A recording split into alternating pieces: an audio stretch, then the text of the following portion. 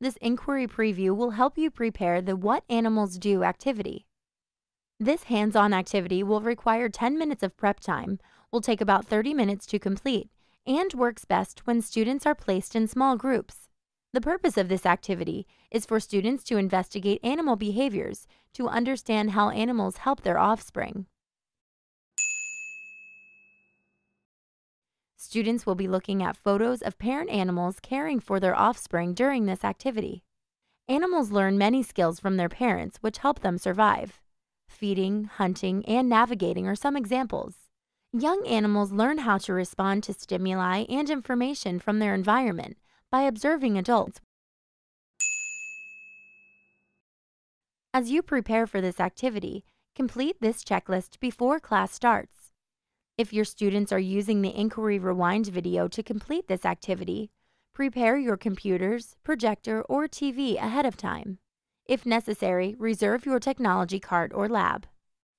If you choose to use the physical photo cards for this activity, prepare them prior to class beginning. Print out one set of photo cards per group. If you are short on time, cut out the photo cards for each of your student groups.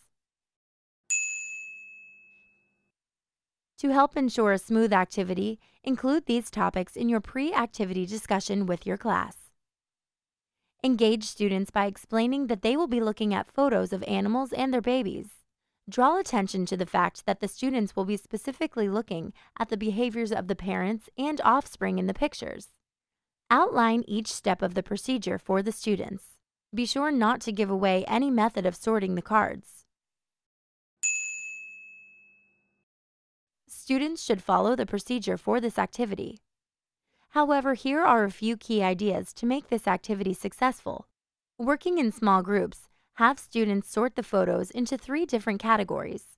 If you are completing this activity using the Inquiry Rewind video, you may wish to explain how to sort the photos using the numbers they are labeled with. During this activity, students should have observed that parents feed, comfort, and protect their offspring. Have a discussion with your class to see what other animal behaviors students may have observed during the activity. When students have finished, bring them together and let each group discuss their findings. If some students were unable to view the expected observations, show the Inquiry Rewind student video before starting the discussion. Then, use the questions in the Teacher's Edition to guide your discussion.